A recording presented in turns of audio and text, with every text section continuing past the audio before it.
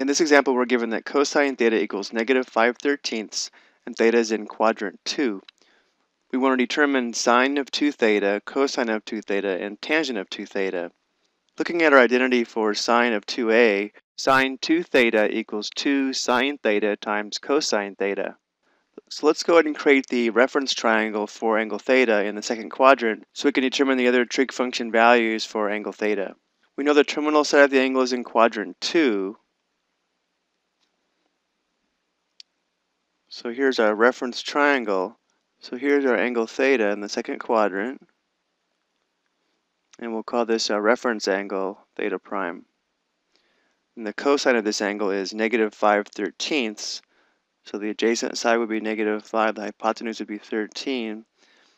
And we can determine the length of this leg here using the Pythagorean theorem, but this is a 5, 12, 13 right triangle, so we can label this leg here 12. Notice the y-coordinate is positive and the x-coordinate is negative. So from here we know that sine theta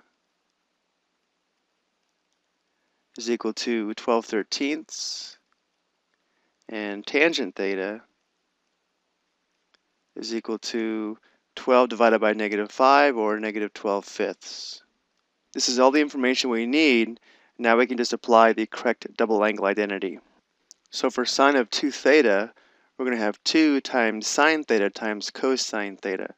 So we'll have 2 times sine theta is 12 thirteenths. And cosine theta is negative 5 thirteenths. Let's go ahead and put the 2 over a 1. Nothing here simplifies, so we'll multiply across the top and bottom. 13 times 13 is 169. 2 times 12 is 24. 24 times negative 5 is equal to negative 120. So sine 2 theta is equal to negative 120 divided by 169. Determine the value of cosine 2 theta. Notice we have three different options. Let's go ahead and just use the first identity. So cosine of 2a is equal to cosine squared a minus sine squared a. So cosine 2 theta is equal to cosine squared theta which will be negative 5 thirteenths squared minus sine squared theta, which is 12 thirteenths squared. So here we're going to have 25 divided by 169 minus, this is 144 divided by 169. So we have common denominator, now we have 25 minus 144, which is equal to negative 119. To determine tangent of 2 theta, we could use this identity here, but since we already found sine 2 theta and cosine 2 theta, tangent 2 theta is equal to sine 2 theta divided by cosine 2 theta. So there's no need to use this identity here if we already have sine 2 theta and cosine 2 theta.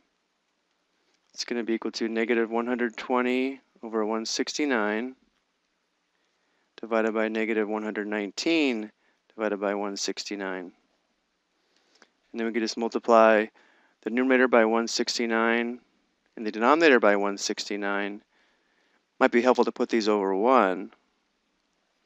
So we can see that this simplifies out, this simplifies out.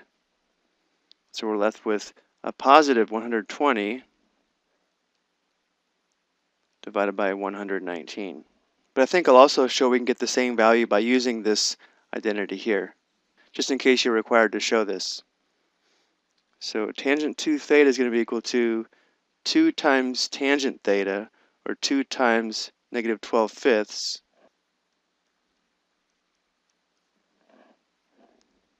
put this over 1, divided by 1 minus tangent squared theta. So we'll have 1 minus negative 12 fifths squared. So our numerator is going to be negative 24 fifths divided by, here we're going to have 1 minus 144 25ths, which equals negative 24 over 25, divided by, this difference here is negative 119 25ths, and now if we write this division problem as a multiplication problem, we're going to have negative 24 divided by 5 times the reciprocal of our denominator here. So we'll have negative 25 all over 119. Here we have a common factor of 5. And a negative times a negative is positive, so we'll have 24 times 5, that's 120.